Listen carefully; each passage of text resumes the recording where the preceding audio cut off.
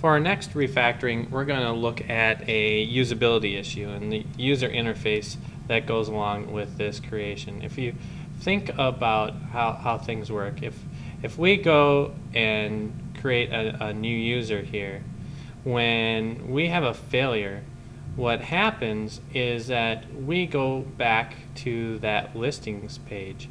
We don't um, do anything nice like tell the user here's what your problem is or uh, here's the things that you did right we just say oh, sorry unable to create a, a, new user. That's not the the nicest thing we could do.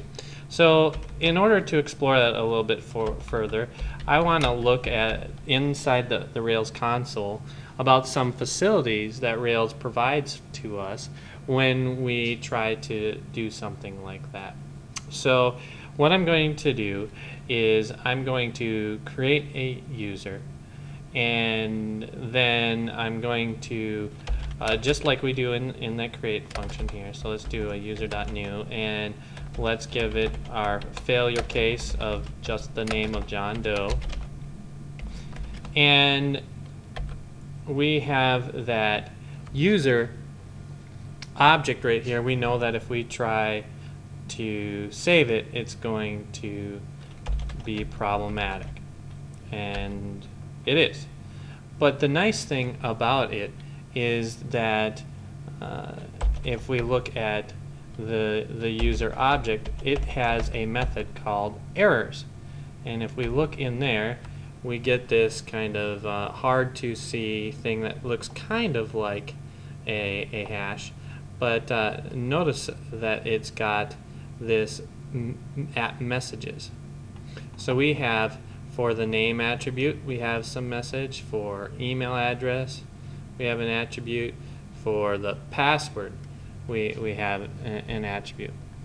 And in fact, in, in that errors message, there's a, another uh, object that we can, messages, there we go, that we can access that gives an array of messages that describe the problems that we took. So in, in this errors one, we know that there's a, a message associated with name and email and password. And what this full messages does is it combines those values together into a nice uh, sentence. Name has already been taken. That has to do with the fact that John Doe is not unique. Email can't be blank password can't be blank. So it'd be really nice if we could display these messages to our user and not display them uh, and have them try to remember what those are, but display them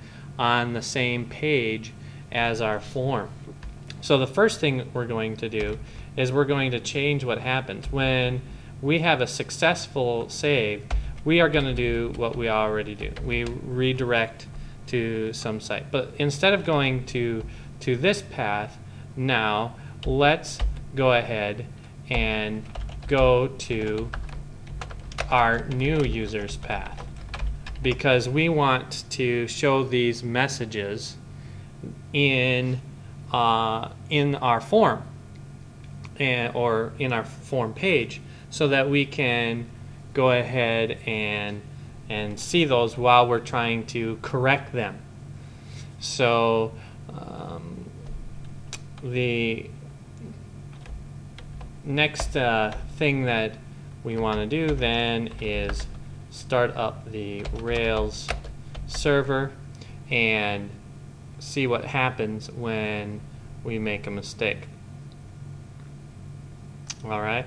So when we try to create our new user that is problem, we now get redirected um, ah, of course that's not new users path because it's only one user. It's new user path. So let's try that again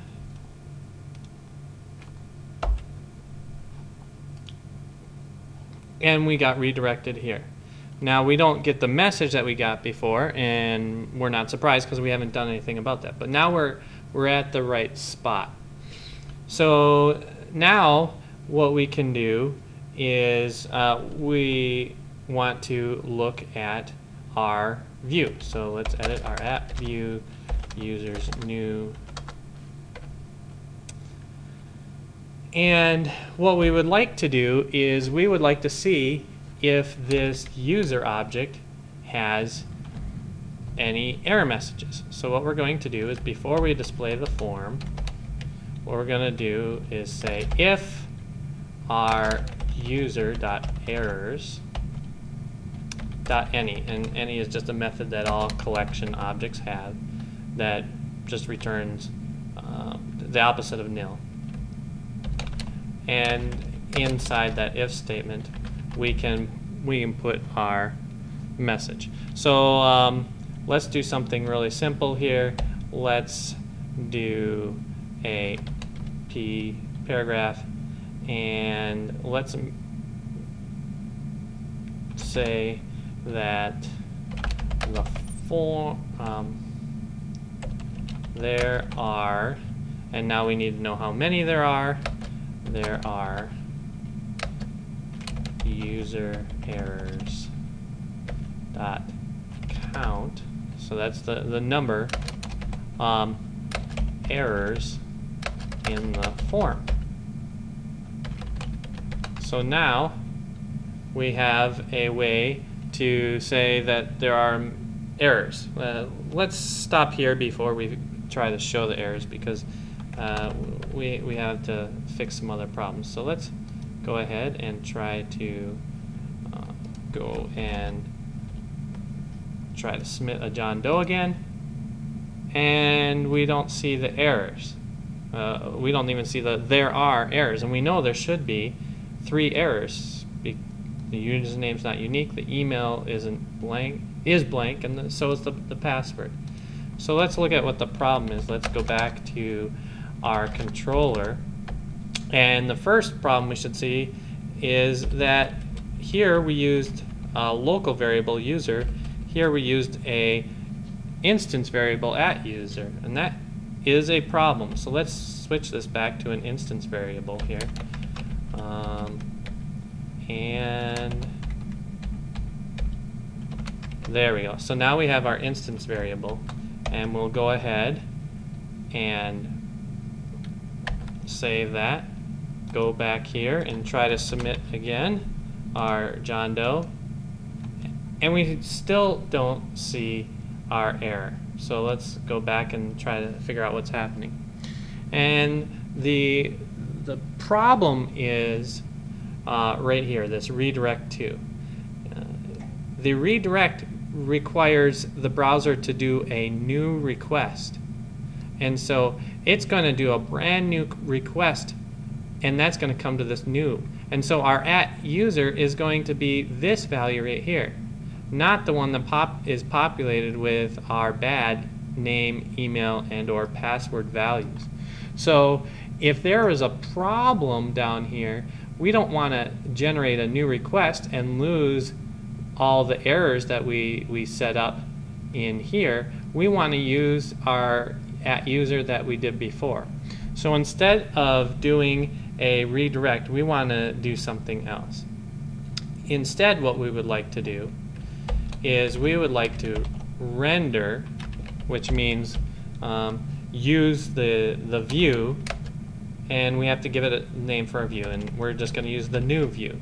So what we're going to say is rather than using our create view that would be the default for the create action, we want to use the new view in, instead. And we've already created the new view here. So if there's a failure on creation, it's like we jumped back into this method and went on before as if we hadn't created, which is exactly what we want. If there was a problem, we want to redisplay the form so that they can resubmit a, a correct solution. So if we save that and go back to our page now and try to submit something, we now see that there are three errors in the form, which is Great, that's exactly what we want to see. Um, and you'll notice there's an interesting change in the format. It's no longer username, email, and password in a line. Let's go ahead and just quickly look at what happened if, uh, to kind of help with your curiosity. Notice what Rails did automatically for us, and we'll come back to this later. These, this div is not a part of our view because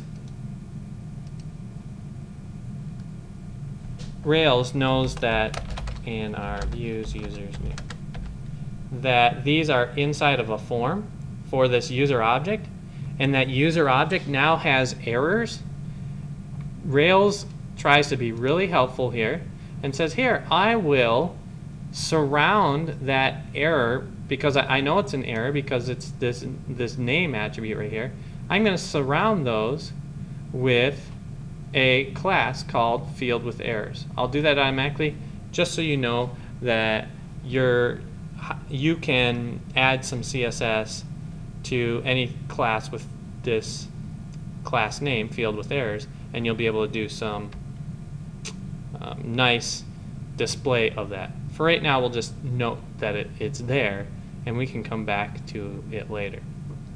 But we do have our output, there are three errors in the form, which is nice. Uh, let's go ahead and get, list what the, those three errors are. So if we go back, and what we would like to do here is um, list all those errors. So let's create an unordered list because the, the errors might come in, in any order. And we can iterate through our errors. But let's go through the messages since they're, they're nice. And what we're going to do is get a message. And what we can do now here is we have a list item and we just want to display what that message is. Alright, so now we iterate through all those nice messages we get a copy of them, we just display it in a, in a list item. So let's go ahead and do that. And um, the other nice thing is, notice that um, Rails automatically populated this John Doe field because it knew that our user had a John Doe, and so it displayed this. So Rails kept that information for us, so if we try to resubmit it, now we have those three messages which are great. This, this is a much more usable form already than before because now we know there are three errors and these are the three error um, the, the values that we typed in and so we can say oh email can't be blank let's do some email uh, someone at example.com. and we can fill that out. And now we're down to two errors. We can do our, our password. And no, we don't want to. There are one errors. Oh, that's another um, not so nice. So let's visit this again.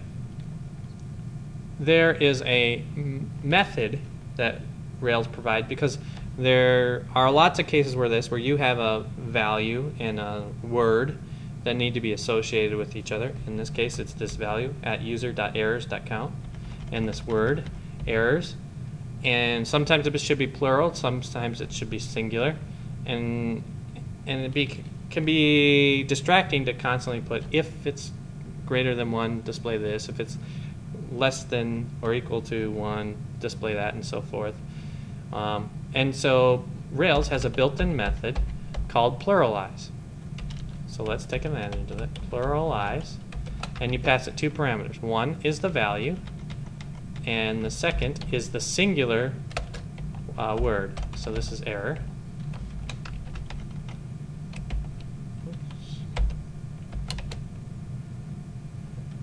So this will return error if it's singular or errors if it's plural automatically for us. So let's save that and resubmit this with a password. And there are one error in the form. Uh, that's a little bit harder, um, but uh, we can pluralize that as well. So we pluralize at user.errors count and singulars is and we click that. So save that, type in a new password, and we get ah there one is. So that's not as as helpful for us. So we might want to uh, try to figure something out more, or we can reword it so we don't have to play this game. Um, so you can say something like, um, the form has this many errors. So now you don't have to try to pluralize it. And so let's try that. We will do password. Submit that. The form has one error. Ah, that's much better. Now it's grammatically correct. Um, John Doe the second. So we can go John Doe I. Password.